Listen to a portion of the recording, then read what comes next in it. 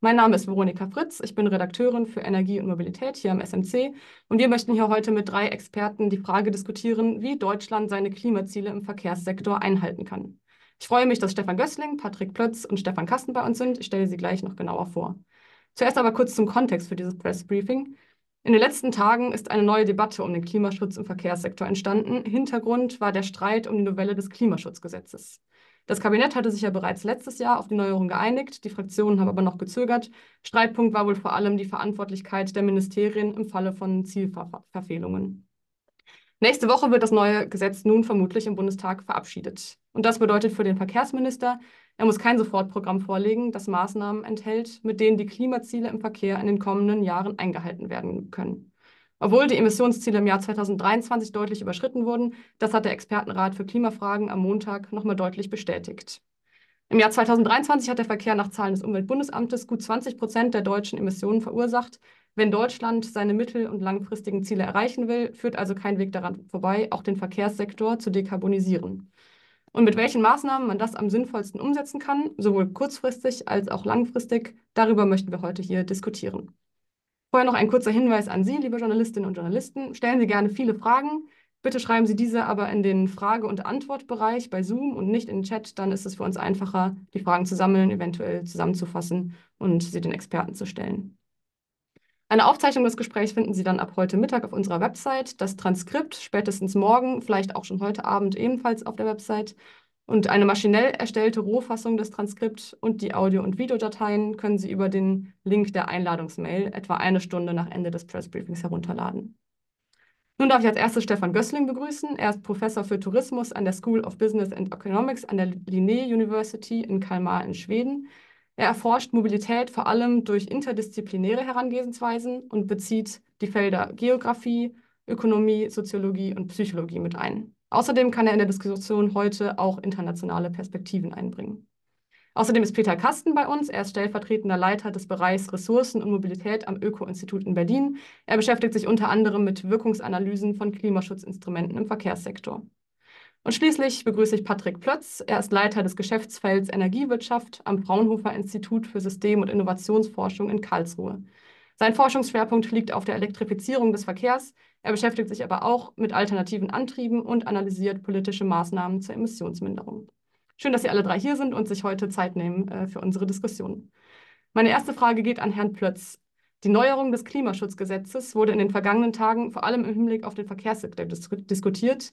Welche Auswirkungen könnte die bevorstehende Gesetzesänderung denn auf die Emissionen im Verkehr in den nächsten Jahren haben? Ja, guten Morgen. Ähm, es steht natürlich zu erwarten, dass durch das abgeschwächte Klimaschutzgesetz, das heißt, indem es keine sektorscharfen Ziele mehr gibt, äh, die Diskrepanz zwischen Zielen und tatsächlichen Emissionen im Verkehr tendenziell weiter ansteigen wird. Und ähm, das hat mehrere Auswirkungen auf Deutschland. Ähm, zum einen bleiben wir damit natürlich insgesamt unseren nationalen Klimaschutzzielen hinterher. Und zum anderen bedeutet es, dass Deutschland aufgrund der Lastenverteilungsverordnung der Europäischen Union in äh, naher Zukunft in erheblichem Umfang äh, Zertifikate kaufen muss von anderen Ländern, die ihre Ziele erfüllen. Das heißt, durch diesen unterlassenen zusätzlichen Anstrengungen im Klimaschutz im Verkehr kommen da auf Deutschland in erheblichem Umfang zusätzliche finanzielle Belastungen zu, die aus dem Bundeshaushalt Haushalt äh, beglichen werden müssen. Okay, vielen Dank. Ich denke, das Klimaschutzgesetz wird sicherlich auch in der Diskussion heute immer wieder eine Rolle spielen. Ähm, zunächst aber vielleicht noch mal kurz zum Hintergrund. Dass die Emissionen im Verkehr im Vergleich zu anderen Sektoren besonders langsam sinken, ist ja nicht neu. Herr Gößling, woran liegt das? Warum tut sich der Verkehrssektor so schwer bei der Reduzierung von Emissionen? Guten Morgen auch von meiner Seite. Äh, die Situation, die wir haben, ist natürlich nicht über Nacht entstanden. Wir haben wissenschaftlich schon vor vielen Jahren darauf äh, hingewiesen, dass wir uns in eine Richtung bewegen, die mit den Klimazielen nicht vereinbar ist. Ähm, leider ist aber die Forschung nicht sehr stark berücksichtigt in der deutschen Verkehrspolitik. Äh, darum haben wir eine Entwicklung, die eigentlich auf zwei Dinge hinausläuft. Das eine ist, es sind immer mehr Pkw und auch Nutzfahrzeuge im Umlauf, im Einsatz. Wir haben also in vielen Jahren in der Vergangenheit plus eine Million netto gehabt und mehr. Äh, jetzt im letzten Jahr 2023 ist die Fahrzeugflotte um 688.000 Fahrzeuge netto gewachsen. Ähm, das ist der eine Trend, der natürlich dazu führt, dass bei mehr Fahrzeugen die relativen Effizienzgewinne weniger äh, zu Buche schlagen. Dann haben wir aber noch einen zweiten Trend, das ist, dass wir immer schwerere Fahrzeuge im System haben und auch höher motorisierte Fahrzeuge. Und auch da haben wir zeigen können, dass die höhere Motorisierung dazu führt, dass die Emissionen steigen oder im besten Fall sich stabilisieren. Das sehen wir auch in der Statistik. Äh, da gibt es eben keine signifikante Abnahme. Und äh, als letzten Trend dürfte man dann vielleicht auch noch viele Details äh, nennen. Äh, zum Beispiel die Oldtimer-Regelung, die wir in äh, Deutschland haben. Das sind auch mittlerweile über 700.000 Fahrzeuge, die eigentlich schon aus ähm, äh, gesundheitspolitischen Erwägungen nicht mehr fahren sollten, weil die sehr hohe ähm, äh, Emissionen nicht nur an, äh, ähm, an Klimagasen, sondern auch an Luftschadstoffen verursachen und äh, damit also das Gesamtsystem weiterhin in eine Richtung sich entwickelt, die ganz sicher äh, zu noch mehr Problemen in der Zukunft führen wird. Mhm. Vielen Dank. So erstmal zu den, zu den Ursachen der Probleme. Ähm, Herr Kasten, die nächste Frage an Sie soll den Blick auf die mittel- bis langfristige Zukunft richten. Wie könnte denn ein ambitionierter, aber realistischer Emissionspfad für die nächsten Jahre und Jahrzehnte für den Verkehrssektor aussehen? Ja, guten Morgen auch von meiner Seite. Und ähm, Herr Gößling hat ja die Herausforderung angesprochen. Wir, wir sehen gerade überhaupt keine Verkehrswende. Das heißt, der Straßenverkehr ist weiterhin ähm, im Zentrum oder ist, ist das zentrale Verkehrsmittel und äh, dementsprechend muss man einerseits an, an die Verkehrsleistung ähm, der, der Straßenfahrzeuge ran und ähm, an die Elektrifizierung. Also man muss die Straßenfahrzeuge dann auch emissionsfrei äh, fahren lassen. Und ähm, das sind die beiden Hauptstrategien. Und ein realistischer Pfad kann es sein oder muss es sein, strukturell einfach im Verkehrssektor eine Wende hinzubekommen. Einerseits zu mehr Verlagerung der Verkehrsträger, äh, zu, zu mehr öffentlichen Verkehren, zu mehr Radverkehr, aber auch, wie gesagt, die Elektrifizierung ist ein ganz entscheidender Punkt. Und ähm, wir haben gezeigt in Studien, dass man auf äh, erhebliche Minderungen kommen kann, auch recht schnell kommen kann, wenn man politisch äh, das will und wenn man äh, politisch die Rahmenbedingungen so gestaltet, dass eine Elektrifizierung angereizt wird, dass eine Verkehrsverlagerung angereizt wird. Und dazu gehört dann einfach eine geänderte Abgaben- und Steuersystematik im Verkehrssektor, die ist bisher überhaupt nicht am Klimaschutz ausgerichtet und auch brauchen wir Investitionen in öffentliche Verkehrsmittel, damit einfach äh, die Kapazitäten äh, gesteigert werden, dass die Qualität des öffentlichen Verkehrs gesteigert wird und äh, dass einfach auch Städte umgebaut werden können, dass sie fahrradfreundlicher werden, damit die Leute, wenn das fossile Fahren teurer wird, auch umsteigen können auf andere Verkehrsmittel. Mhm. Ein Hinweis nochmal an die Journalisten und Journalisten. Stellen Sie gerne ähm, Ihre eigenen Fragen. Es ist hier vor allem eine Chance, dass Sie Ihre Fragen ähm, an die drei Experten stellen können. Ähm, genau, nutzen Sie dafür gerne die äh, Frage-Antwort-Funktion. Vielleicht nochmal an Herrn Kasten, ähm, können Sie bei den Emissionspfaden nochmal etwas konkreter werden? Also ähm, vielleicht grober, eine grobe Größenordnung geben, was realistisch ist, in welchen Jahren man wie viel Emissionsminderung im Verkehr ungefähr schaffen könnte?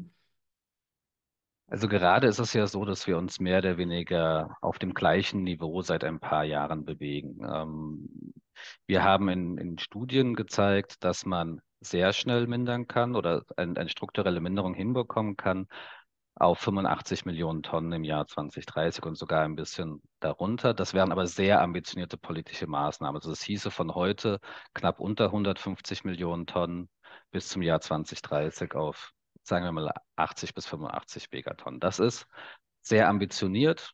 Äh, so eine Minderung ist unserer Einschätzung nach möglich, wenn man das politisch sehr ambitioniert ausgestaltet.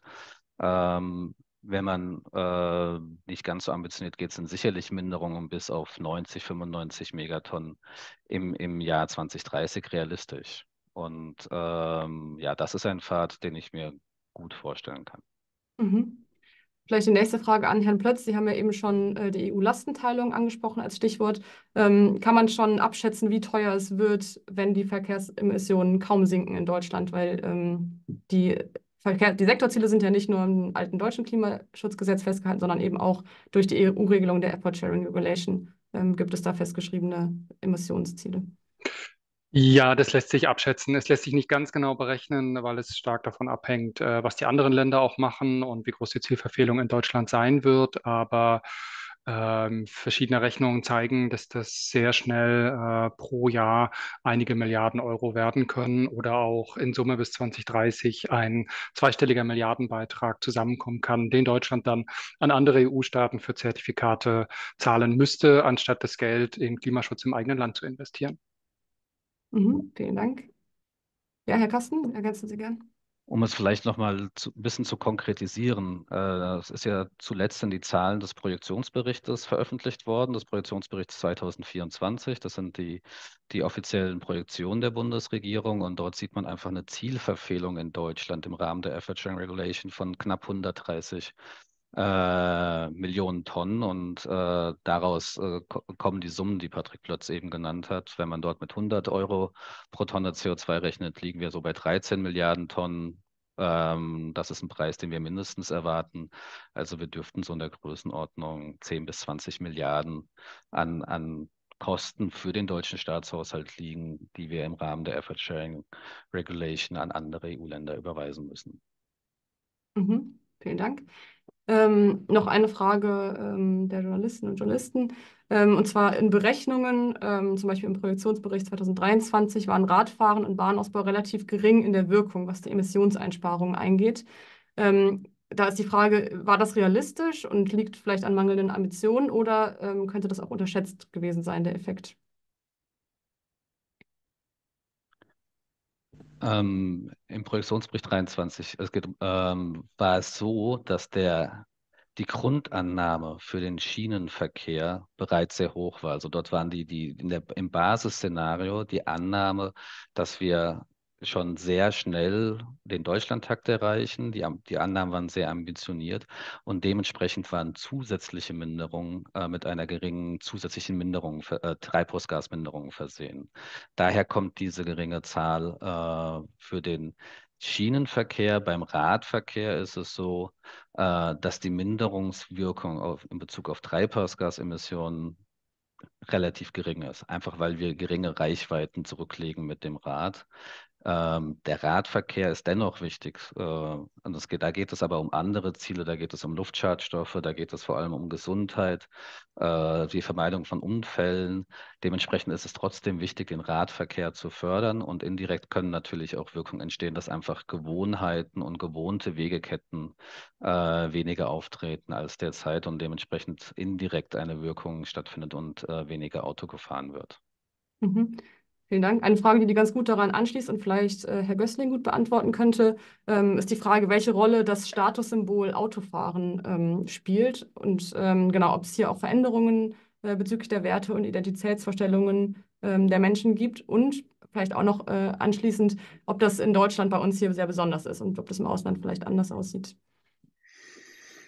Das ist äh, eine wichtige Frage. Ich habe mich äh, 2016 damit so intensiv auseinandergesetzt, dass ich ein ganzes Buch darüber geschrieben habe, über die Psychologie des Autos, einfach um erstmal zu verstehen, warum diese Bindungen an das Auto so groß sind. Wir haben also nach wie vor erstaunlicherweise diese sehr hohen symbolischen Werte, die mit dem Auto verbunden sind. Es gilt gerade auf dem Land immer noch, dass das Auto so ein bisschen zeigt, wer da wohnt.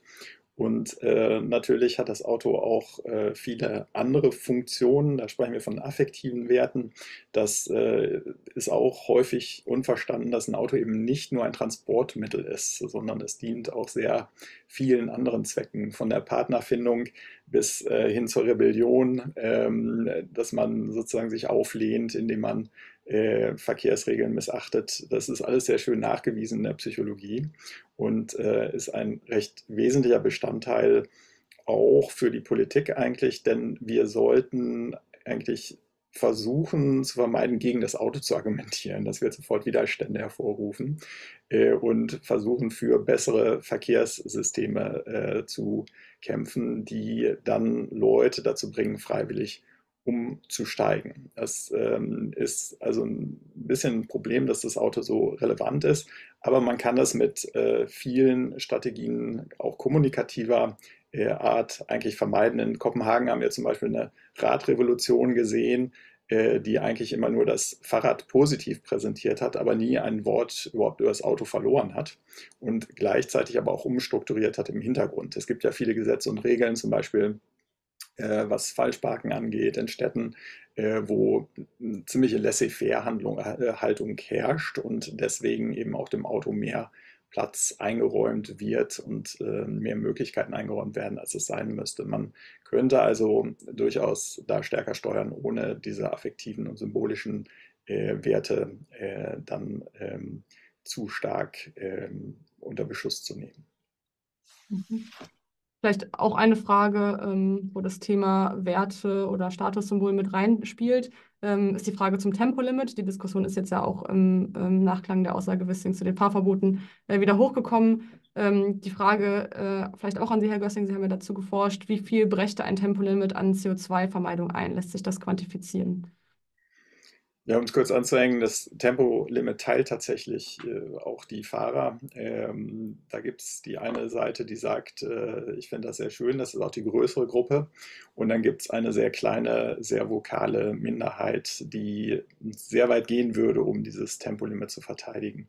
Wir wissen auch aus unserer Forschung, dass äh, das tatsächlich so ein wichtiges Thema ist für manche Menschen, äh, dass das Wahlverhalten sich daran festmachen kann.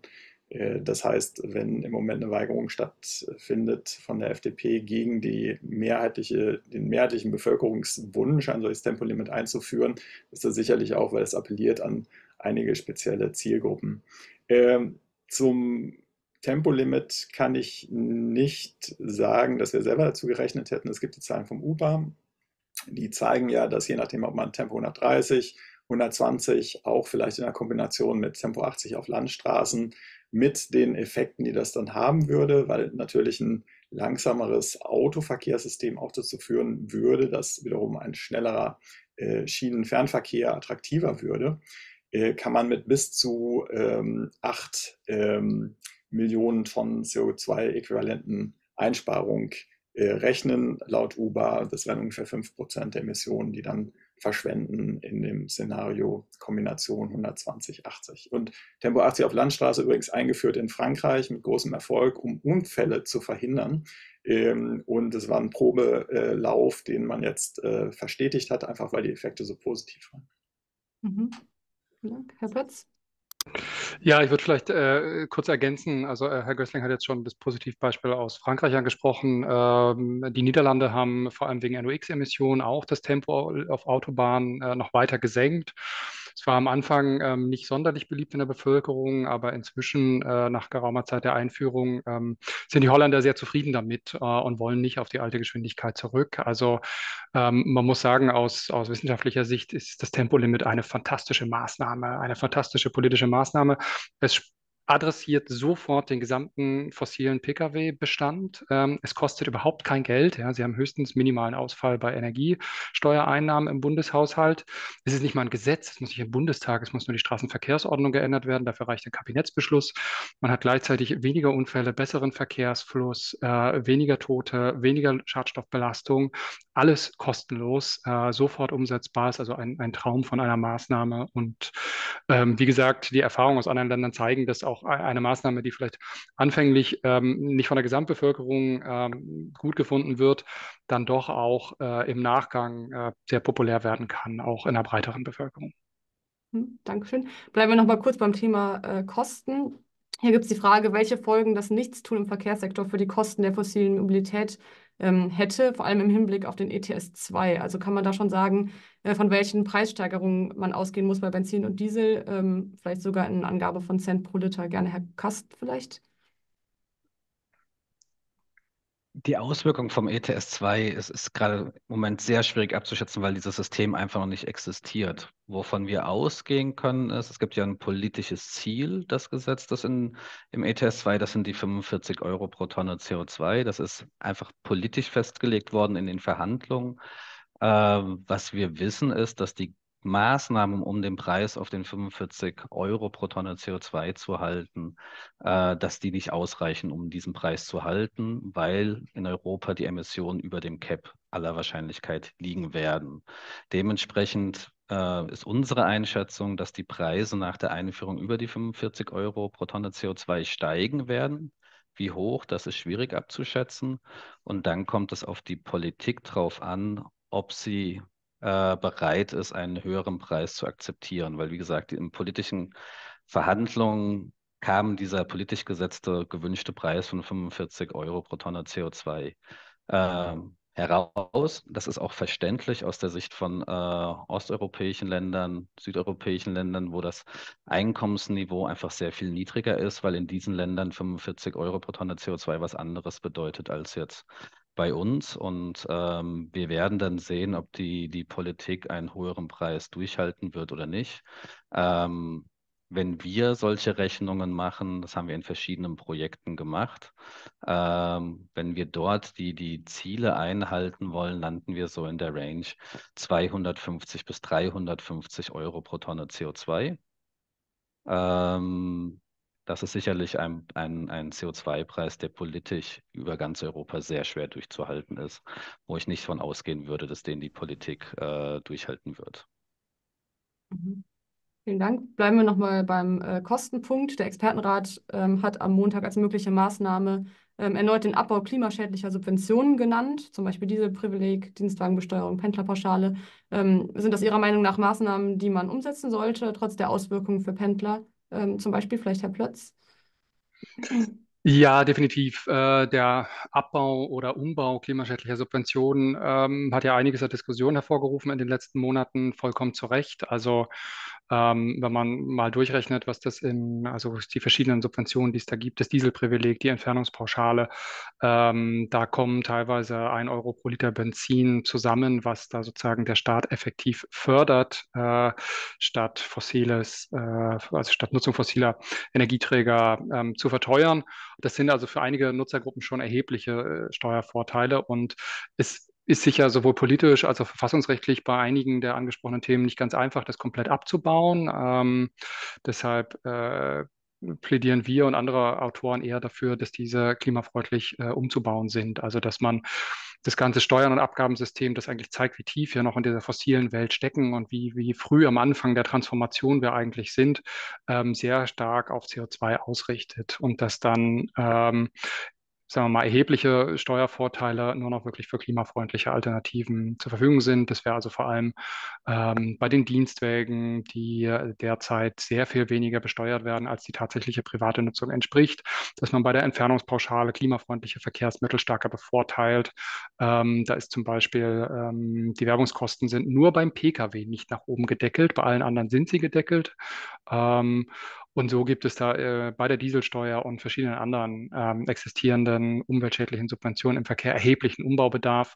Und das sind alles Maßnahmen, die nicht sofort sehr große Wirkungen erfalten, die aber zwingend notwendig sind, um mittelfristig und langfristig wirklich große Wirkung zu entfalten und diese ambitionierte Klimaschutzreduktion, die wir bis 2030 und darüber hinaus brauchen, zu ermöglichen und auch für die Bürgerinnen und Bürger zu begleiten.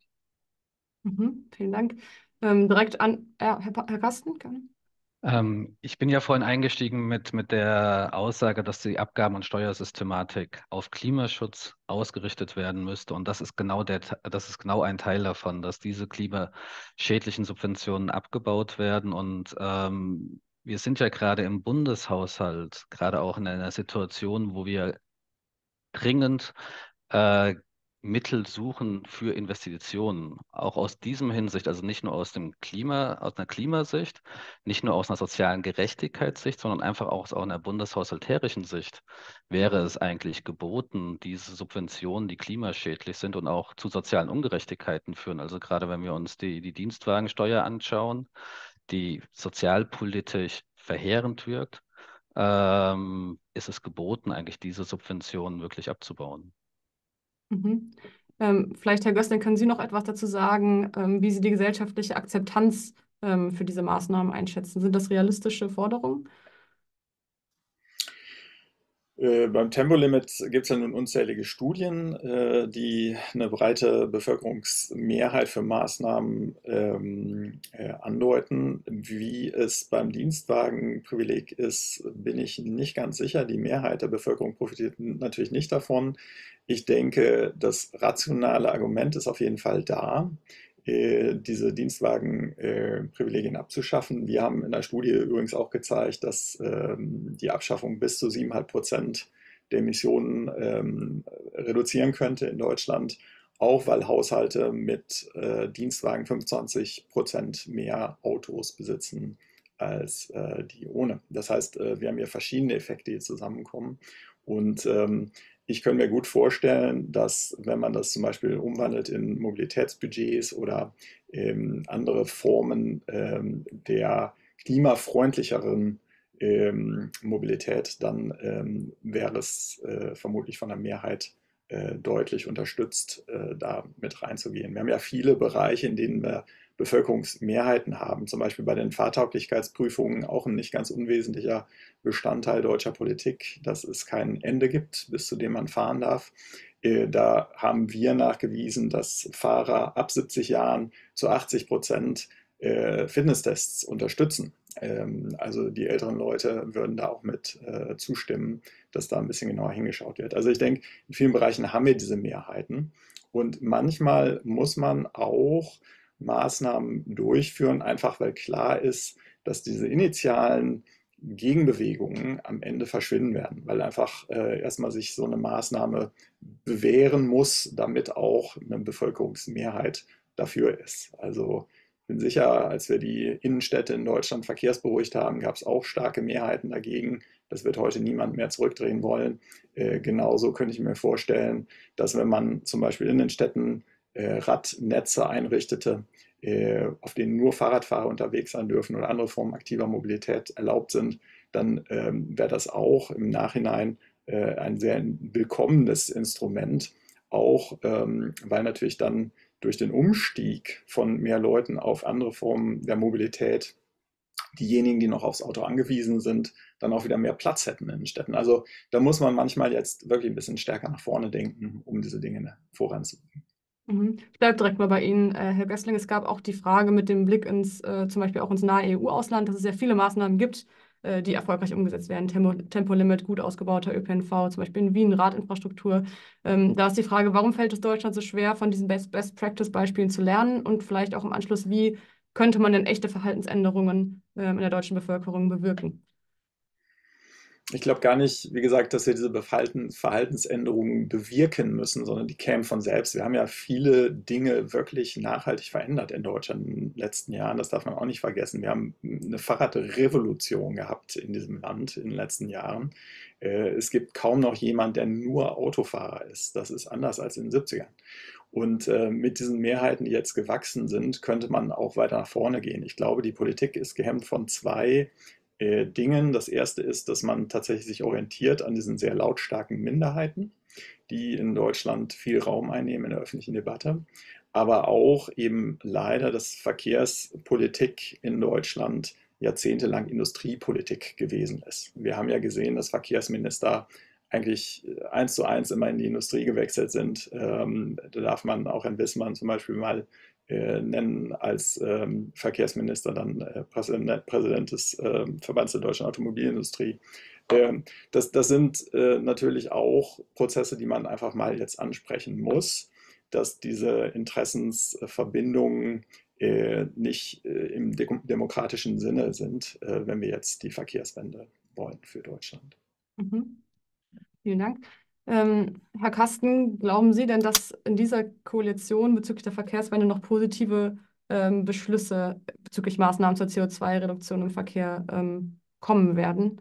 Können Sie da eine Einschätzung geben? Herr Plötz hat das ja vorhin angesprochen. Mit dem novellierten Klimaschutzgesetz ist der Anreiz für die Regierung sehr gering. Ähm, die Projektionen, die zuletzt veröffentlicht wurden, haben gezeigt, dass in der Gesamtrechnung äh, das die Budgets, die im Klimaschutzgesetz äh, vorgegeben sind, eingehalten werden und dementsprechend gering ist der Anreiz für die Politik, äh, zusätzliche Klimaschutzmaßnahmen im Verkehrssektor ähm, anzugehen. Und ähm, wir hatten vorhin auch angesprochen, die, die Kosten, die im Effort Sharing äh, auf, auf Deutschland zukommen, die werden auch erst in der zweiten Hälfte der 2020er Jahre auf Deutschland zukommen.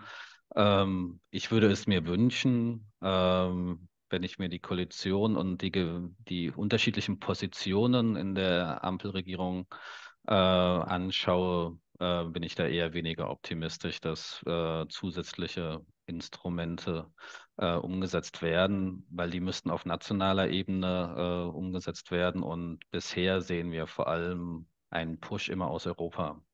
Die, die unangenehme Entscheidung wird immer nach Europa verlagert. Dort hat ein mit dem Green Deal, muss ich sagen, äh, wurde ein sehr ambitioniertes äh, Klimaschutzpaket geschnürt für den Verkehrssektor.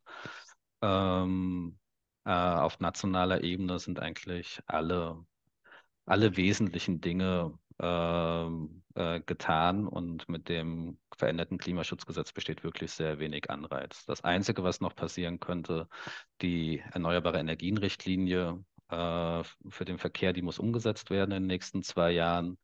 Ähm, das wird noch in dieser Legislatur passieren, aller Voraussicht nach. Äh, dort könnte es noch kleinere Impulse geben, aber ansonsten ähm, bin ich da weniger optimistisch.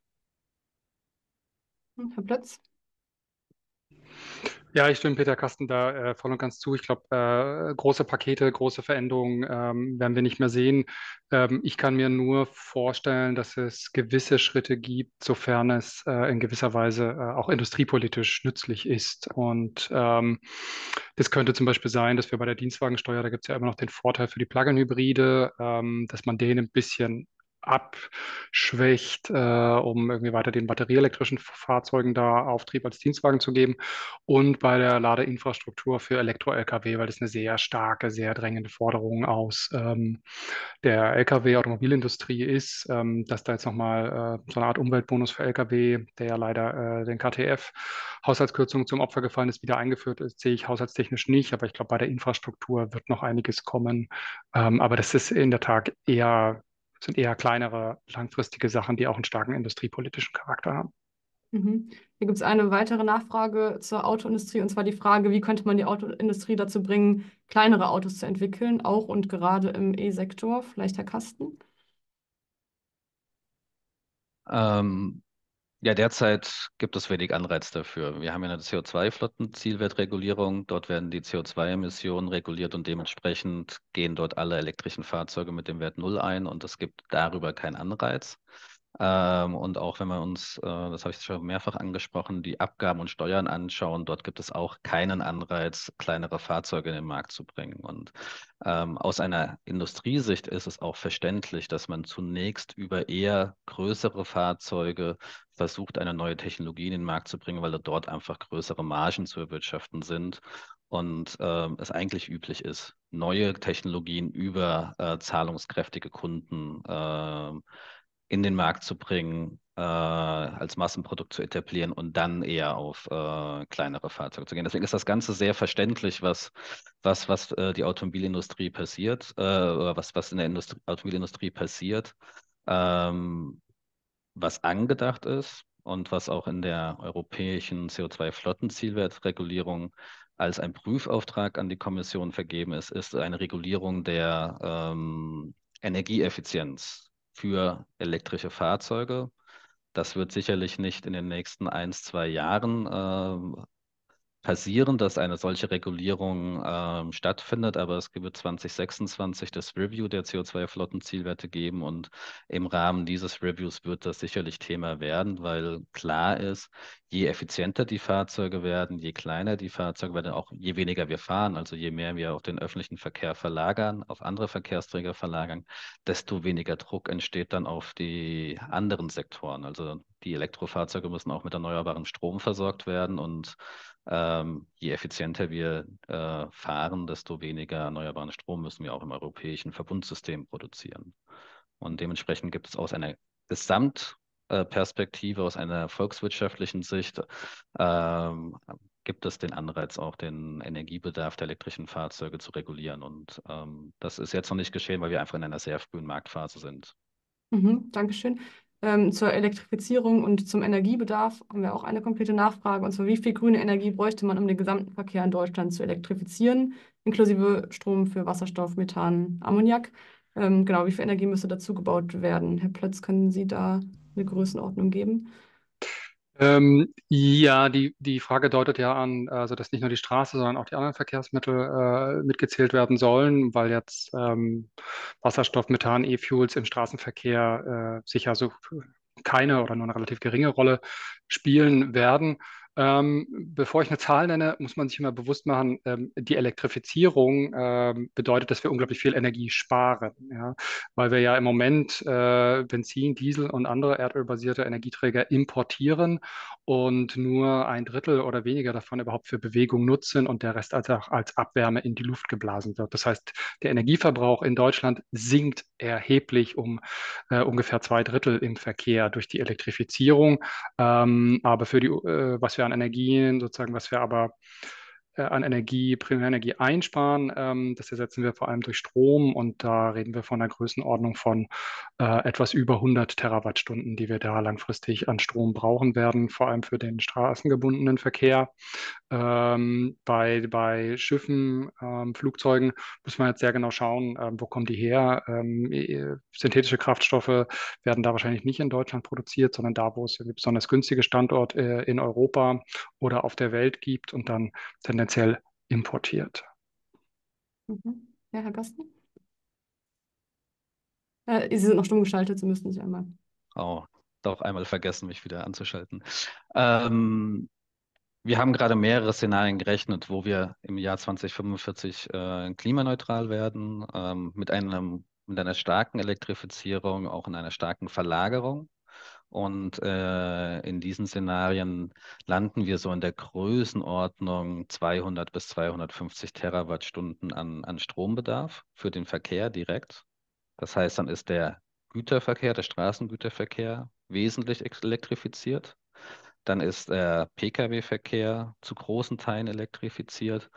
Ähm, und es bleibt ein geringer Anteil noch an, an Kraftstoffen äh, übrig, äh, der über E-Fuels, Wasserstoff, wie auch immer versorgt werden muss.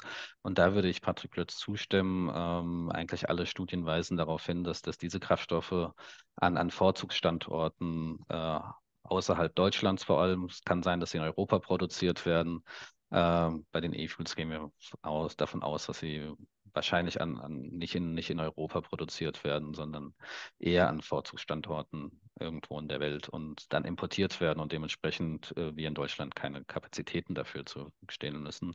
Und wenn man diese Summen an Strom hört, klingt das immer sehr viel. Ähm, aber ich möchte auch darauf hinweisen, dass wir auch ein europäisches Verbundnetz haben. Also es ist das Vergessen, oder es wird oft vergessen, wir importieren gerade den kompletten Energiebedarf, fast den kompletten Energiebedarf für den Verkehrssektor. Und an die Stromwelt oft wird oft der, die Anforderung gestellt, jetzt müssen wir das alles in Deutschland äh, zur Verfügung stellen, die Energie. Wir haben ein europäisches Verbundnetz und dort äh, ist es ist natürlich die Herausforderung auch nicht so groß.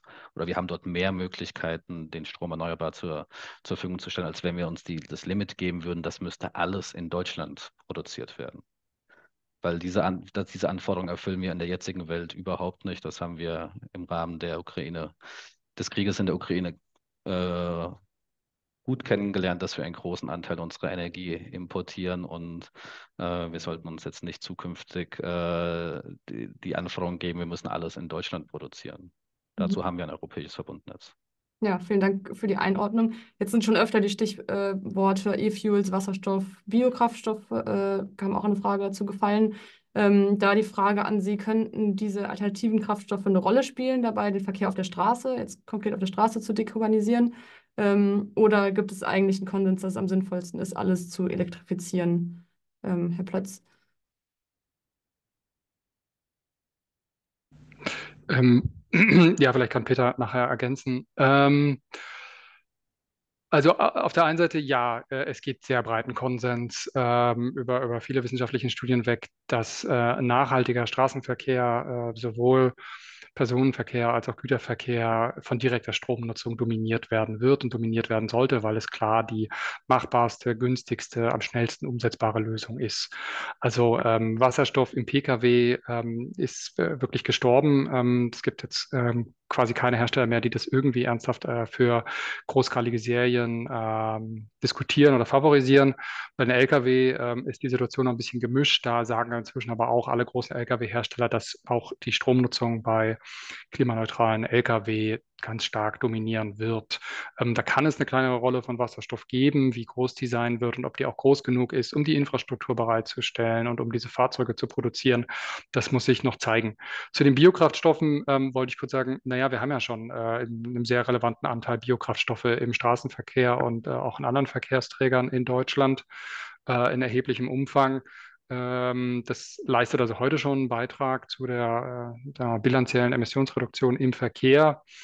Ähm, ob das eine größere Rolle in Zukunft spielen wird, ähm, da gibt es jetzt viele, viele Details, von welchen Biokraftstoffen sprechen wir, welche Rolle können E-Fuels da spielen.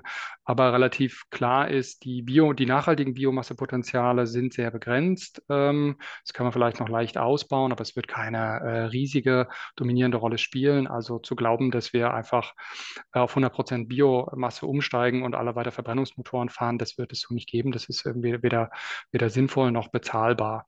Ähm, und es wird sich dann, muss sich dann langfristig herausstellen, wie vielleicht gerade auch im Flugverkehr, welche Mischung aus Bio- und synthetischen Kraftstoffen wir da sehen werden. Mhm. Sie hatten gerade die, ja, Herr Kasten noch kurz dazu. Also Patrick Plötz hat auch auf mich verwiesen. Vielleicht nochmal äh, eine Ergänzung dazu. Ich glaube, die wichtige Nachricht hat, hat Patrick Plötz schon genannt. Also das nachhaltige Biomassepotenzial ist stark eingeschränkt. Ähm, was noch hinzukommt, andere Sektoren wollen auch auf dieses nachhaltige Biomassepotenzial zugreifen. Die wollen auch auf den grünen Wasserstoff zugreifen. Und die chemische Industrie braucht auch äh, ähnliche, also braucht auch E-Fuels. Bisschen anders äh, ausgestaltet am Ende, was aus der Raffinerie rauskommt. Aber im Endeffekt ist es das Gleiche, wie was der Verkehrssektor als E-Fuels äh, haben will. Und ähm, wenn wir ein begrenztes nachhaltiges Biomassepotenzial haben, äh, wir werden auch bis weit in die 2030er Jahre keinen Überschuss an Wasserstoff zur Verfügung haben, ähm, sehe ich nicht, wie diese Kraftstoffe eine super relevante Rolle spielen können und sollten in der äh, Klimaschutz, äh, äh, Klimaschutz im Verkehr, einfach weil andere Sektoren das sehr viel nötiger haben als der Verkehrssektor. Und das zeigen eigentlich alle sektorübergreifenden Studien, dass aus volkswirtschaftlicher Sicht, aber auch generell aus Preissicht äh, die Biomasse und, und der grüne Wasserstoff in anderen Sektoren, in anderen Anwendungen sehr viel besser aufgehoben ist als jetzt im Straßenverkehr. Mhm. Herr Gössing, ganz kurz eine organisatorische Frage. Es gibt ähm, sehr viele Nachfragen von äh, Journalistinnen und Journalisten, was uns sehr freut. Ähm, wir könnten uns vorstellen, dass wir doch noch etwas mehr Zeit damit füllen könnten. Deswegen die Frage, wäre es für Sie okay, äh, etwas zu überziehen, vielleicht sogar 15 Minuten? Oder müsste jemand von Ihnen zeitlich los? Okay, super. Dann gerne Herr Gössling noch dazu. Ja, ich wollte noch ergänzen, dass wir natürlich im Moment den deutschen Verkehr äh, betrachten, was nicht zum deutschen Verkehrklima äh, bilanziell gehört, ist der internationale Flugverkehr, der im Moment in der EU äh, sozusagen verortet ist. Das ist auch ein, äh, eine problematische Entwicklung, weil wir da sehen, dass die Emissionszuwächse ähm, äh, recht dramatisch sind, ähm, äh, da die Effizienzgewinne einfach nicht ausreichen, um dieses Wachstum, was da immer noch jährlich stattfindet, aufzufangen. Und im Flugverkehr haben wir deutlich weniger Alternativen. Elektrisch wird da nichts laufen ähm, in, in signifikantem Maß in der Zukunft.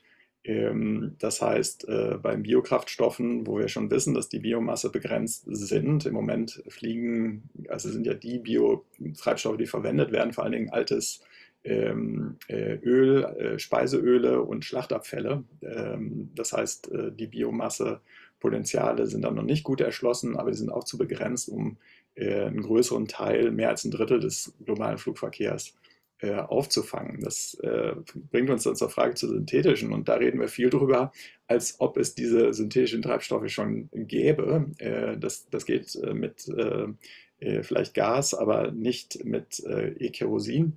Äh, es gibt keine einzige Produktionsanlage irgendwo in der Welt, die problemlos läuft. Und da reden wir von Kleinstproduktionsmengen. Ich äh, sehe nicht, dass bis 2030 äh, dieses Problem so gelöst ist, dass man auch nur über ein Hochskalieren dieser Technologie reden kann. Und das Energieinput wird enorm sein für äh, eine Kilowattstunde, äh, die Sie nutzen in Form äh, von Treibstoffen, müssen Sie vier Kilowattstunden investieren. Ähm, das wird möglicherweise sinken etwas in der Zukunft, aber da kommt ein gewaltiger Mehrstromverbrauch dann auf uns zu und diese Treibstoffe werden mit Sicherheit viel, viel, viel teurer sein als nur ein Faktor 3 im Verhältnis zu dem, was der aktuelle Weltmarktpreis ist. Das heißt, hier große technische und ökonomische Probleme bei der Umstrukturierung, äh, worauf man dann eben auch entsprechend die Menschen vorbereiten sollte. Fliegen müsste sehr viel teurer werden, damit es dann eine realistische Chance gibt, diesen Sektor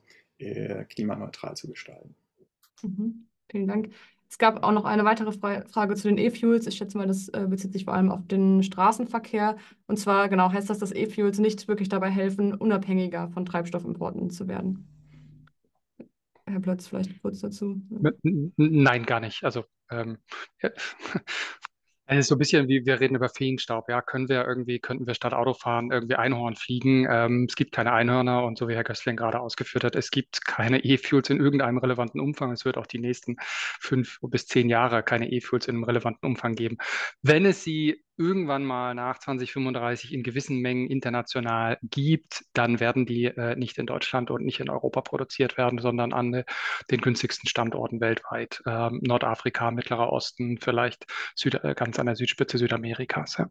Also das ähm, ist ein bisschen irgendwie Feenstaub und äh, der wird äh, auch nicht aus Europa kommen. Mhm. Vielen Dank. Ähm, dann vielleicht nochmal zum Thema Elektrifizierung des Verkehrs. Herr Plotz, Sie hatten ja eben schon die Elektrifizierung von Lkw angesprochen. Ähm, können Sie da einschätzen, wie schnell sich E-Lkw durchsetzen äh, werden aus ökonomischen Gründen für Kurzstrecken und für den Fernverkehr? Ja, also wir haben so wie bei dem Pkw, ähm, gibt es inzwischen auch bei den Lkw europäische CO2-Flottengrenzwerte. Das heißt, großer Treiber für die äh, Lkw-Automobilindustrie ist hier auch CO2-neutrale Alternativen anbieten zu müssen ähm, und auch in den Markt zu bringen, äh, erfolgreich und in relevanter Menge zu verkaufen, um die europäischen Emissionsreduktionsvorgaben zu erfüllen. Ähm, da gibt es auch mehrere Stufen, aber ähm, 2040 sollen eine 90-prozentige Emissionsreduktion gegenüber 20, äh, 2021 bei den Neuzulassungen der Lkw europaweit stattfinden. Ähm, das ist also alles ein bisschen später jetzt als bei dem Pkw, aber der Hochlauf äh, wird irgendwie ähm, ähnlich verlaufen, nur ein bisschen zeitversetzt. Allerdings sind die Haltedauern bei den Lkw sehr viel kürzer. Das heißt, der Bestand wird sich sehr viel schneller ändern. Ähm, es gibt inzwischen mehrere Rechnungen, die, die das einfach mal äh, durchgerechnet haben und visualisieren und zeigen, dass wir vermutlich bei den Lkw, ähm, also der Bestandsanteil E-Fahrzeuge, da werden die Lkw die Pkw überholen. Also da wird die Transformation im Bestand sicher schneller gehen. Ähm, auch das ist aber natürlich eine große Transformation mit vielen Herausforderungen. Der Logistikmarkt ist sehr divers. Da gibt es auch viele Bedenken bei Logistikern. Aber äh, am Ende ist es eine weniger emotionale Entscheidung als beim Privat-Pkw, weil die alle ähm, Geld verdienen müssen mit den Fahrzeugen. Ähm, und da sind sich die Studien extrem einig, dass es äh, einen relevanten Kostenvorteil bei den E-Lkw in den Gesamtnutzungskosten geben wird oder in manchen Anwendungen heute auch schon gibt, ähm, sodass trotz der sozusagen der, der Umstellung, die wir da haben und der Zeit, die das alles braucht, wird die Transformation da kommen. Sie wird sehr schnell gehen und sie wird im Bestand sehr wahrscheinlich schneller als bei Pkw sein. Mhm. Ähm, vielleicht, weil wir noch wirklich noch viele Fragen haben, gehe ich jetzt doch direkt mal weiter. Und zwar äh, gab es auch eine Frage zu Pkw, ähm, dass obwohl die Ladeinfrastruktur jetzt zum Beispiel ganz gut ausgebaut ist, auch da der Hochlauf nicht so wirklich vorankommt. Äh, woran hängt das denn aus Ihrer Sicht? Vielleicht, Herr Kasten, können Sie auch dazu was sagen? Oder sonst Herr Plötz? Patrick, willst du als erstes dann? Ja, ich versuche es kurz zu machen. Ähm, es geistern jetzt viele kritische Meldungen äh, durch die Presse, der Markthochlauf der Elektromobilität sei irgendwie schlecht und eingebrochen und ähnliche Schlagwörter. Ähm, das ist faktisch überhaupt nicht zutreffend. Also wir haben ähm, der Umweltbonus für Firmenwagen ist letztes Jahr weggefallen und Ende des Jahres auch für Privatläufen. Und trotzdem sind Januar bis März nur 5% weniger äh, E-Pkw, Plug-in-Hybrid und Batteriefahrzeuge als im Vorjahreszeitraum in Deutschland zugelassen worden. Also obwohl sozusagen in erheblichem Umfang Förderung weggefallen ist, äh, gab es sozusagen nur einen ganz leichten Rückgang und global geht der Markt äh, einfach weiter steil nach oben. Ähm, das ist jetzt vielleicht eine leichte Konsolidierung äh, in den Neuzulassungen in Deutschland, aber in anderen europäischen Ländern sieht es weiterhin gut aus. Und wir werden vor allem Ende diesen Jahres und im Jahr 25 durch die CO2-Flottengrenzwerte nochmal einen erheblichen Hochlauf in Europa bei Elektrofahrzeugen sehen. Mhm. Wir bleiben bei dem Blick ins Ausland, Herr Gößling. Ähm, wie ist das eigentlich in anderen EU-Ländern? Schaffen es die Länder, Emissionen im Verkehr zu verringern? Und wenn ja, wie machen die das? Ja, da kann ich äh, vor allen Dingen aus Norwegen berichten, wo wir ja schon seit vielen Jahren eine Umstellung äh, der Pkw-Flotten äh, in Richtung ähm, elektrische Wagen haben. Das hat mit Anreizsystemen gut funktioniert. In der initialen Phase es wird ab 2025 auch nicht mehr möglich sein, Neuzulassungen an Verbrennern zu bekommen. Das heißt, da ist dann auch die Grenze gesetzt durch die Politik.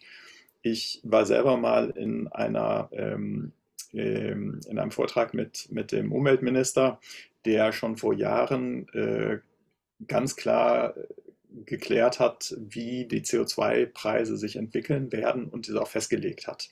Ähm, also dort wurde den ähm, Fahrunternehmen schon sehr klar eine Vorgabe gemacht für die nächsten zehn Jahre, an denen sie sich dann orientieren können, wenn sie jetzt ähm, äh, neue Lkw einkaufen.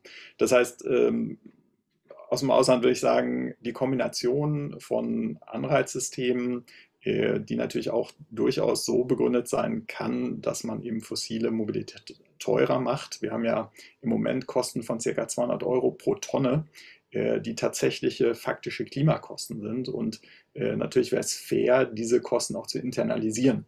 Und äh, dann würde natürlich auch ein stärkeres Interesse an der Elektromobilität daraus erwachsen. Also ich denke, da gibt es einen äh, Policy-Mix, den man ähm, nutzen könnte. Vor allen Dingen sind aber längerfristige Vorgaben wichtig, damit sich alle darauf vorbereiten können und entsprechend planen können. Mhm, Dankeschön. Jetzt haben wir viel über Elektromobilität äh, geredet. Herr Gössling, es gab aber auch noch eine Frage, inwiefern es für die Klimaneutralität äh, wichtig wäre, dass Autofahrende nicht nur auf E-Mobilität umsteigen, sondern stattdessen auf den äh, öffentlichen Verkehr oder auch aufs Radfahren zu Fuß gehen. Ähm, genau, vor allem im äh, Hinblick, dass die Autos ja mit der Zeit immer größer werden, wie wir schon gehört haben. Das Land teilt sich da eigentlich in zwei Lager. Wir sehen ja in den großen Städten in Deutschland, dass schon 40 Prozent der Haushalte keinen Pkw mehr haben. Wir sehen auf der anderen Seite auf dem Land, dass der Trend da manchmal eher zum Drittauto als zum Zweitauto geht. Und äh, das sind natürlich Prozesse, die man auch steuern und beeinflussen kann. Äh, in Freiburg haben wir gesehen, dass durch in dem Fall eine gestaffelte Parkplatzabgabe. Äh, öffentlicher Raum verursacht Kosten. Man hat einfach das umgelegt auf Autofahrer, die jetzt einen Anwohnerparkplatz nutzen wollten, hat aber gesagt, es ist ein Unterschied, ob man einen Kleinwagen fährt oder einen großen SUV. Daraufhin gab es eine Dreierstaffelung, die ist dann leider äh, gerichtlich gekippt worden nach einer Klage, aber das wird wiederkommen. Die Idee ist einfach, dass sobald man Parkraum, der öffentlich ist, ähm, teurer macht, wir in Freiburg sehen, dass dann die Zahl der äh, registrierten Fahrzeuge sofort runtergeht. Ähm, das heißt, kleine Anreize zeigen schon oder kleine ähm, ja, ähm, Malus-Einführungen, dass äh, viel von dem Autoverkehr, den wir sehen, eben auch äh, einer der Möglichkeiten ist. Ein Verkehrssystem ist ja immer im Equilibrium. Wenn Sie es also günstig machen, ähm, ein Auto zu haben, im Moment ist ein deutscher Pkw nach unseren Berechnungen mit etwa 5000 Euro im Jahr subventioniert, dann werden natürlich auch mehr Leute das nutzen. Wenn man die Subventionen zurückfährt oder es anders strukturiert, dann geht die Nachfrage entsprechend zurück. Mhm. Vielen Dank. Sie hatten schon ähm, die Unterschiede Stadt-Land angesprochen. Welche Maßnahmen wären denn sinnvoll, äh, vielleicht konkret fürs Land zu treffen, Herr Gößling?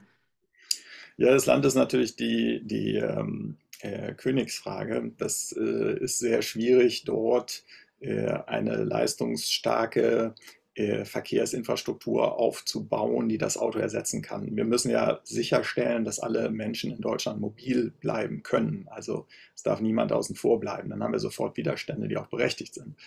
Äh, wichtig ist also dort zu gucken, mit welchen zukünftigen Möglichkeiten wir auch arbeiten können, wenn die autonome Mobilität dann mal kommt ähm, habe ich äh, geklärt mit äh, Managern bei Uber zum Beispiel. Es ist durchaus auch möglich, dort äh, einen Abholservice zu gewährleisten, der sehr flexibel arbeiten kann ähm, und ähm, ohne lange Wartezeiten äh, es ermöglichen würde, auch Leute zu transportieren, ohne dass man auf den Bus warten muss, ohne dass man irgendwo äh, zur nächsten Bahnstation laufen muss und vielleicht auch im Pool-Verfahren, dass dann durch den Algorithmus verschiedene Leute äh, gemeinsam fahren, was äh, sich in anderen äh, Ländern wie Österreich als sehr populär, gerade auch bei älteren Menschen gezeigt hat.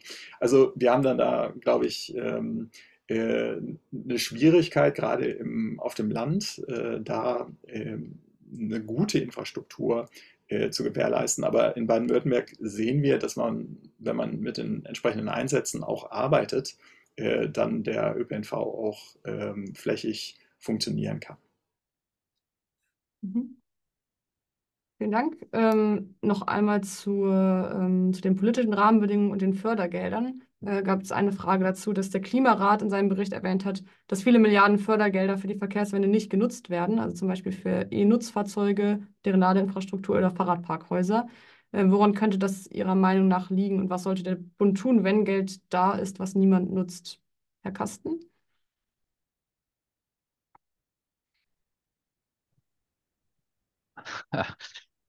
ich muss kurz drüber nachdenken. Ähm, Problem. Hat sonst jemand dazu direkt einen Einfall? Ansonsten können wir auch erstmal zu einer weiteren Frage gehen. also fällt mir jetzt spontan keine, keine, keine gute Also ich wüsste jetzt auch nicht, wo, äh, auf was sich der Expertenrat da bezieht, wo besonders Ja. viel Geld übrig sein soll. Ähm, also es gibt ein paar Programme, da sind irgendwie Mittel im Bundeshaushalt bereitgestellt, aber die Programme sind noch nicht fertig. Äh, also da, da öffentliche Ladeinfrastruktur zum Beispiel, da wartet man noch auf ein europäisches Gerichtsurteil, bis damit da Rechtssicherheit besteht und alles so. Also gibt es einige Mittel, die sind allokiert, aber die sind aus, aus verschiedensten Gründen noch nicht äh, abgerufen worden. Also dass da irgendwo massenhaft irgendwie Geld rumliegt, das nicht abgerufen wird, das kann vielleicht in, in Nischen bei, beim Radverkehr oder so, so sein, aber im Großen und Ganzen ähm, sehe ich das, äh, sehe ich das nicht als, als irgendwie ein relevantes Thema an. Okay, vielen Dank.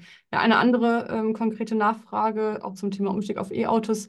Äh, was sollte aus Ihrer Sicht denn mit dem Verbrennerbestand passieren, der ja immer weiter wächst, wenn jetzt ein Anst Umstieg auf E-Mobilität stattfindet? Ähm, ja, Herr Plötz.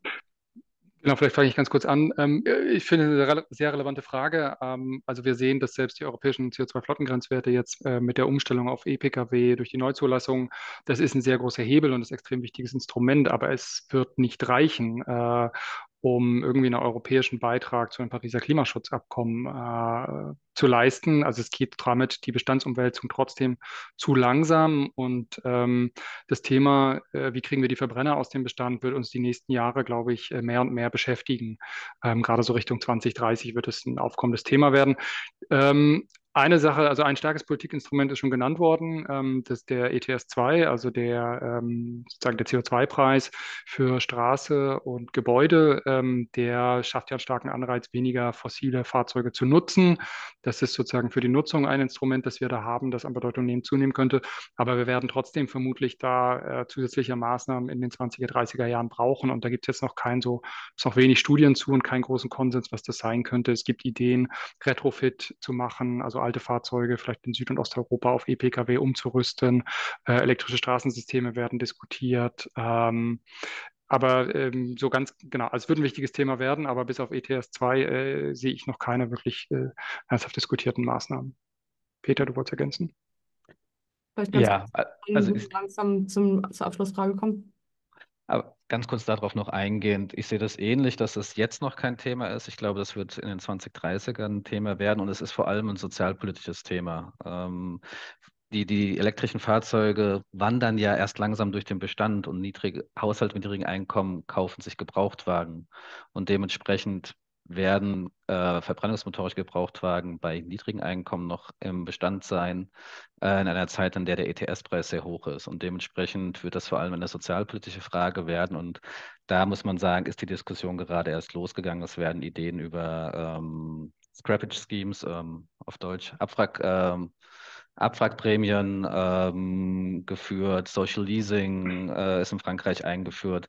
Das sind dann Instrumente, die, die gerade diskutiert werden, die vielleicht gerade neu auch mal implementiert wurden.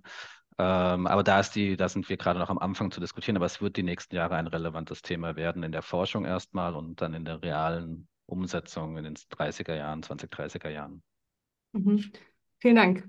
Als Abschluss würde ich gerne eine Frage an Sie alle drei richten, an der auch ähm, großes Interesse jetzt der Journalistinnen und Journalisten besteht. Und zwar ähm, die Frage, welche vier, fünf zentralen Maßnahmen, vielleicht jeder von Ihnen ein bis zwei äh, nennen, ähm, jetzt den deutschen Verkehrsbereich ähm, dahin bringen könnten, Klimaziele zu erreichen. Gerne dann dazu sagen, wie viel CO2-Äquivalente die Maßnahme ungefähr einsparen könnte und ob das eher kurzfristig oder ähm, langfristig wirkt. Herr Gößling, mögen Sie anfangen? Ja, ich äh, würde mich da orientieren an dem, was äh, eine Deutsch, äh, deute, deutliche Mehrheit der deutschen Bevölkerung sich wünscht. Das wäre ein Tempolimit ähm, bei 130, wäre es sicherlich sehr äh, wäre es sicherlich nicht kontrovers, das einzuführen. Ähm, und äh, die damit verbundenen Effekte wären eben vielfältig. Es wird nicht nur äh, für einen gleichmäßigen Verkehr sorgen äh, auf deutschen Autobahnen. Viele Phantomstaus würden auch verschwinden. Dann ähm, die Emissionen würden in einer Größenordnung, ja, das hängt ein bisschen davon ab. Es gibt die schnellen Effekte, die wären vielleicht nur ein paar Prozent, aber dann gibt es auch die längerfristigen Effekte, weil möglicherweise dann auch bei der Motorisierung mal ein bisschen über Alternativen nachgedacht wird und ähm, außerdem dann andere Verkehrsträger attraktiver werden. Äh, wir hätten sicherlich viel weniger Unfälle auch, weniger Verkehrstote. Äh, das wären alles positive Begleiterscheinungen von, von so einer Maßnahme. Deswegen ist das meine persönlich favorisierte einfach, es gibt schon so lange diesen Konsens, das einzuführen im Land. Das könnte man schnell auch umsetzen. Mhm. Herr Kasten, zur Ergänzung. Also ja, ich würde, ich wäre gespannt, was sich Patrick noch übrig lasse. Ähm, ich würde zwei, äh, zwei Instrumente ergänzen. Das Tempolimit, ganz klar, das ist äh, wurde vorhin schon gesagt, einfach zu implementieren, bringt viel, äh, gibt eine Zustimmung dazu, würde ich auch unterstützen. Ganz wichtig, um strukturell die Elektrifizierung zu beschleunigen in Deutschland, äh, dass da würde da ein CO2-Malus beim Neuwagenkauf, beim Neu-Pkw-Kauf äh, stark unterstützen. Das heißt, dass äh, im Rahmen der Kfz-Steuer im ersten Jahr der Zulassung eine zusätzliche CO2-Komponente eingeführt wird dass Fahrzeuge, die über einem gewissen Emissionswert liegen, diese CO2-Abgabe zusätzlich abführen müssen und, und dementsprechend äh, ökonomisch elektrische Fahrzeuge besser gestellt werden. Das ist eigentlich in der gesamten Community das präferierte äh, Instrument, um den Elekt äh, Elektromobilitätshochlauf zu beschleunigen. Es hat den Vorteil gegenüber dem ETS, dass beim Fahrzeugkauf, also bei der Investitionsentscheidung, und die ist in der also ein Fahrzeugkäufer rechnet keine Gesamtkostenrechnung, der macht sich keine Gedanken, wie wird sich ein ETS-2-Preis entwickeln in fünf Jahren, sondern der Käufer oder die Käuferin überlegt sich beim Fahrzeugkauf, was kostet das Fahrzeug und dementsprechend setzt es da an. Äh, das zweite Instrument, langfristig extrem wichtig, meiner Einschätzung nach, für den Finanzminister oder Finanzministerin, weil die Energiesteuereinnahmen zurückgehen werden, äh, aber auch für aus klimapolitischer Sicht, aus äh, Energiesystemsicht ist die Einführung einer fahrleistungsabhängigen Pkw-Maut, ähm, dass wir einfach die externen Kosten, die hatte Herr Gößling vorhin angesprochen, des Verkehrs internalisieren, dass es dort ein Preissignal gibt, unabhängig vom Antrieb, ähm, das wird eine sehr aufwendige Diskussion werden. Sehr, also man muss es gut vorbereiten, kommunikativ gut vorbereiten. Das wäre jetzt so meine zweite Maßnahme, die ich ins Rennen schicken würde, die man möglichst bald angehen sollte. Ich hätte noch mehr am Petto, aber das wären jetzt die beiden, die ich jetzt genannt habe und lass Patrick noch überlegen, was er noch hinzufügt. Danke. Vielleicht noch eine kurze Nachfrage. Lässt sich bei den beiden Maßnahmen ungefähr sagen, welche CO2-Reduktion die bewirken könnten? Oder ist das jetzt schwierig, ad hoc eine Größenordnung zu geben? Also wir haben beim, bei dem Malus haben wir verschiedene Szenarien gerechnet. Wir haben da keine Einzelmaßnahmenbewertung gemacht, deswegen ist es schwierig.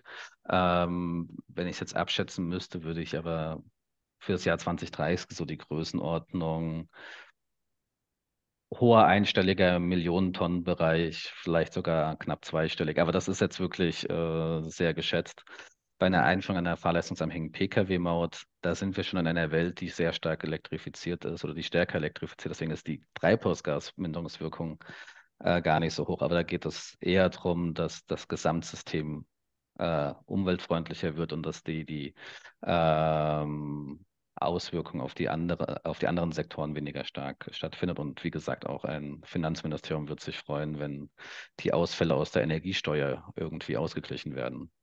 Mhm. Okay, vielen Dank. Herr Plötz, ist noch was für Sie übrig? Vielleicht sogar auch eine Sofortmaßnahme, die äh, nichts mit Autos zu tun hat, wenn Ihnen da was einfällt. Äh, äh unbedingt. Also ähm, ich fände es äh, von, also neben den genannten Themen äh, eine große Baustelle, das ist fast eher ein Maßnahmenpaket, ist der Umbau klimaschädlicher Subventionen. Ähm, die Dieselsteuer, die Entfernungspauschale, das Dienstwagenprivileg, um nur einige zu nennen, Ähm, die wirken eher mittel- bis langfristig, ähm, gerade bei der Entfernungspauschale, die ich, man wechselt in der Regel den Wohn- oder Arbeitsort nicht so oft, ähm, kann aber auch ein paar kurzfristige Effekte haben, weil ich mir dann überlege, äh, ab nächstem Jahr vielleicht doch mehr Bahn oder Fahrrad zu fahren. Also diese, ähm, der Umbau klimaschädlicher Subventionen ähm, ist, kann mittelfristig in wenigen Jahren schon äh, je nach Ausgestaltung einige Megatonnen CO2-Minderung einbringen und ist aber langfristig äh, ein sehr, sehr großer Hebel, um uns aus dieser fossilen Welt rauszubringen und uns auf den klaren langfristigen Pfad klimaneutraler Verkehr zu bringen und kann dann langfristig auch äh, der gesamte Umbau gut zweistellige Megatonnen pro Jahr einsparen. Okay, vielen Dank. Damit würden wir jetzt auch langsam zum Ende des Pressbriefings kommen. Vielen Dank erstmal an Sie, äh, liebe Experten, und auch an die Journalistinnen und Journalisten, die hier teilgenommen haben. Ich fand es sehr interessant und äh, hoffe, dass auch Sie Neues mitgenommen haben.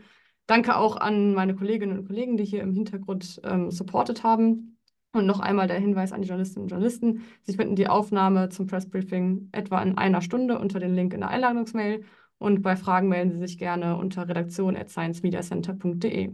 Dann wünsche ich heute noch allen einen schönen Tag und bis zum nächsten Mal hoffentlich. Auf Wiedersehen und tschüss. Dankeschön. Danke.